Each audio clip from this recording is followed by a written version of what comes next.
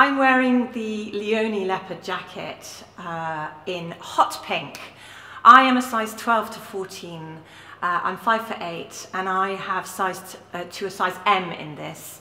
I would say it's quite roomy and I would consider sizing down if you're between sizes. Um, it's a cotton jacquard fabric. It's, it's um, got a little bit of stretch to it. It's fully lined um, with a spare button. It's got a single button here which you can attach, obviously, to close it.